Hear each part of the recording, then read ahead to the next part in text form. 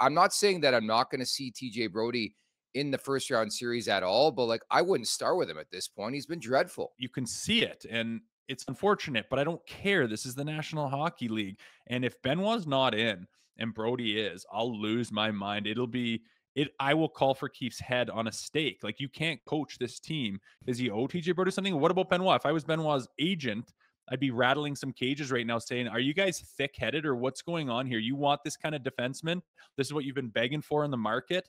And here's my guy comes in, gives you exactly what you want for no money with no expectations. And he gives you what you want. And what's his return? What's his thank you? You scratch his ass every time, you know, the wind blows. It's complete BS. I don't agree with it whatsoever. And this isn't a kumbaya league. This is the big league. And whoever's playing and performing is who should be playing. And that's Simon Benoit. And when he gets scratched for TJ Brodie to go in there and just scramble around and trip over his own feet, it's it's inexcusable.